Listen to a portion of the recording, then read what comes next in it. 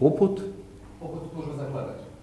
Ne, ono o čemu ja razmišljam i što, dakle, ne bavim se time i neću se baviti time, ali ono o čemu ja razmišljam je sljedeće.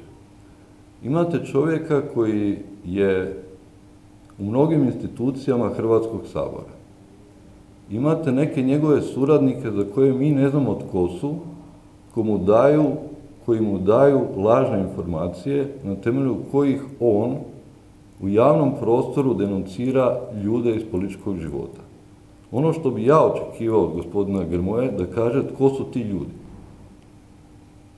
Ko su ti ljudi, kojim interesnim skupinama oni pripadaju, kojoj vrsti obavještanog pozemlja oni pripadaju, jer mislim da imperativ u ovom trenutku Nikola Grmoja je riješen, ali da je imperativ u ovom trenutku da takve ljude, takve interesne skupine i takve eventualne pripadnike obavještanog pozemlja maknemo od institucija Hrvatskog sabora, čija je glavna karika Nikola Grmoja.